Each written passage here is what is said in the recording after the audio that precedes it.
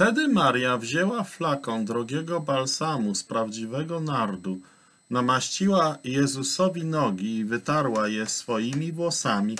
Zapach olejku napełnił cały dom. Ewangelia według Jana, 12 rozdział, 3 werset. Przykład uwielbienia.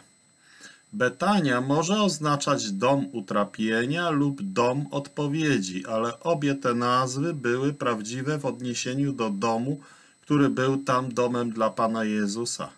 Śmierć dotknęła ten dom, ale teraz po Jego łaskawej i potężnej interwencji w podniesieniu Łazarza z grobu nastąpiła odpowiedź. Służba z wolnego serca ze strony Marty. Społeczność ze śmierci z Łazarzem i uwielbienie. Być może najpiękniejszy przykład tego w Piśmie Świętym przez Marię.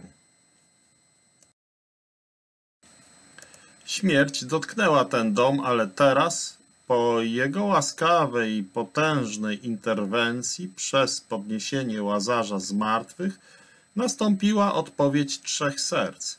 Służba Marty, radosna społeczność z Łazarzem, uwielbienie przez Marię, być może najpiękniejszy przykład uwielbienia w Piśmie Świętym. To, co przyniosła Panu Jezusowi, miało treść i było dobre. Funt maści. Było to czyste, jak staje się nim i było ofiarą z powodu wielkiego kosztu, jaki poniosła. To, co Maria przyniosła Panu Jezusowi, miało treść i było dobre. Funt maści. Było to czyste i było ofiarą z powodu wielkiego kosztu, jaki poniosła. Uhonorowała go, namaszczając go tą maścią, nie w sposób formalny czy rutynowy. Maria była zaangażowana w to, co robiła. Wylała wszystko na niego i wytarła jego stopy swoimi włosami. To było wyjątkowe wyrażenie jej uczuć dla niego i ofiara z jej strony. Było to jednocześnie pełne bliskości i pełne czci. Nie odezwała się ani słowem, co było zupełnie stosowne dla kobiety w takim otoczeniu, ale cały dom był wypełniony zapachem, pięknym efektem tego, co ofiarowała.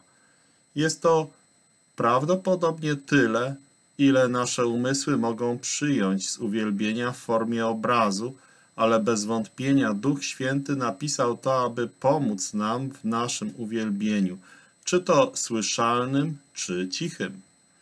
Bycie w domu oznacza, że ma to szczególne zastosowanie do zgromadzenia, ale jeśli nasze uwielbienie jest takie jak uwielbienie Marii, biblijne, prawdziwe, cenione, uległe z serca, będzie miało duchowy wpływ, gdziekolwiek jesteśmy, ponieważ Pan Jezus Chrystus będzie miał w nim przyjemność. Pamiętajmy jednak, że w nas będzie tylko to owoc tego, czego dokonał na krzyżu On, który uczynił wszystko dla Boga i dla nas. List do Efezjan, 5 rozdział, drugi werset. Wtedy Maria wzięła flakon drogiego balsamu z prawdziwego nardu, namaściła Jezusowi nogi i wytarła je swoimi włosami. Zapach olejku napełnił cały dom.